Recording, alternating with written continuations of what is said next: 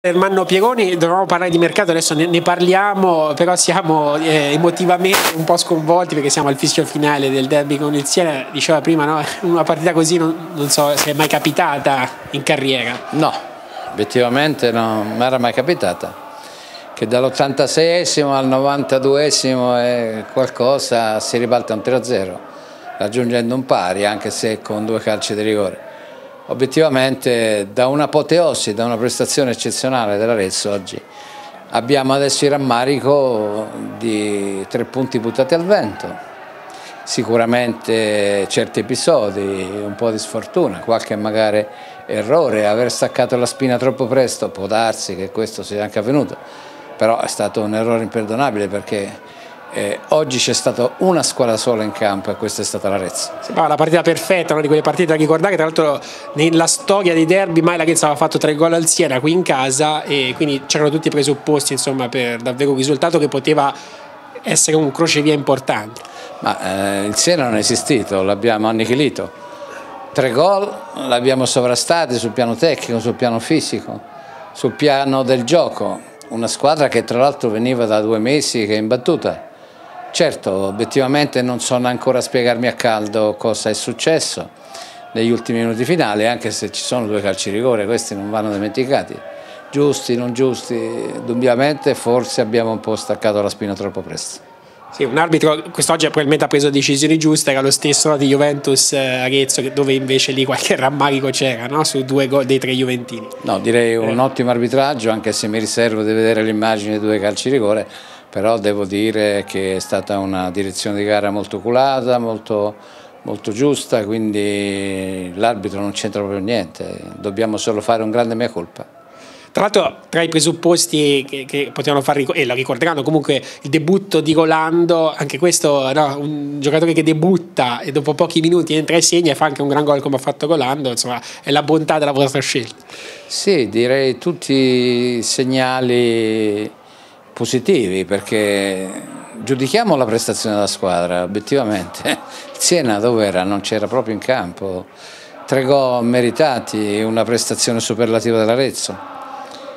E purtroppo è successo quello che non doveva succedere e questo lascia molto amare in bocca. Adesso però bisogna rimboccarsi le maniche, chiaramente ripartire. Il campionato è lungo, mancano ancora 13 partite Certo che in questo momento l'amarezza in noi tutti è tantissima e mi dispiace soprattutto per il pubblico che ci teneva molto a questa gara, era stato premiato con una prestazione a mio avviso superlativa, macchiata da questi dieci minuti finali che onestamente non sono giustificabili. Comunque guardando la panchina quest'oggi si è capito quanto Ragazzo si è rinforzato, no? guarda che giocatori che erano in panchina e quindi anche quante scelte aveva ed ha in questo momento dal campo.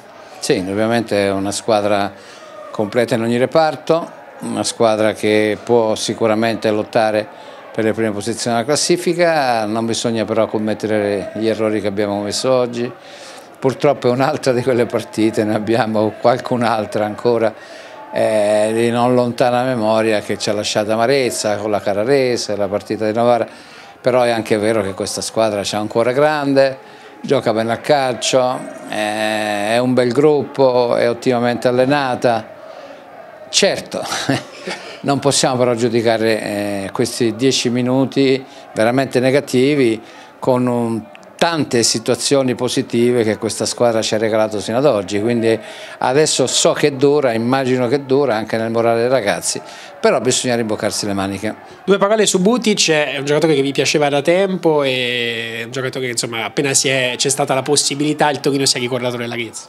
Sì, indubbiamente perché l'avevamo chiesto in estate, poi era andato a Terni dove c'era la possibilità all'epoca del ripescaggio in Serie B, i rapporti con Torino, con l'amico Gianluca Petrachi, eh, ci hanno permesso ecco, di ritornare in pista con questo ragazzo nonostante le tantissime richieste. Sarà un'altra freccia nell'arco di questa squadra, ma come tanti altri, quindi io credo, come giustamente hai evidenziato, che abbiamo anche una panchina molto molto eh, importante, il campionato ripeto è lungo, ci sono 13 gare, speriamo di arrivare più in alto possibile. E poi avete tenuto giocatori come Basit, come Buglio, è stato difficile tenerli? Ma eh, obiettivamente bisogna dare atto al Presidente della Cava che ha sorpreso anche me, nonostante tanti anni di esperienza con il calcio, Certo, non era facile lasciare andare Vuglio perché è un giocatore che ha caratteristiche importanti in questa squadra, però è anche vero che il Presidente della Cava ha rinunciato a tanti soldi, gli va dato merito, gli va riconosciuto questo impegno e sono dispiaciuto tantissimo che la squadra proprio oggi non ci abbia ripagato tutti ecco, con una vittoria che avremmo meritato sul campo. Poi c'è questo affare pro Piacenza, è pressoché certo che la classifica diciamo, cambierà nei termini che l'Arezzo si attende. Ma c'è una sentenza, quella della Corte federale, che parla chiara, quindi nel momento in cui viene radiata definitivamente la pro Piacenza, vengono cancellati tutti i risultati del giorno andata, in questo caso l'Arezzo è primo in classifica eh, oggi dico però a pari punti con la Provercelli, stavo per dire da solo.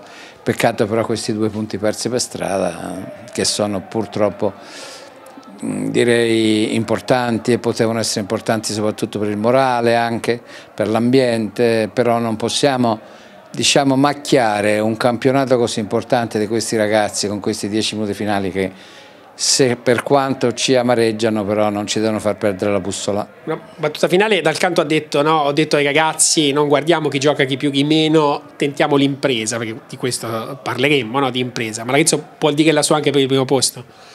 E perché no? Eh, può fare tutto, purché non commetta l'errore di questa sera.